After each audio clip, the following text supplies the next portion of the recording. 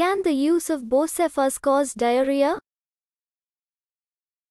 Yes, the use of Bocef AZ can cause diarrhea.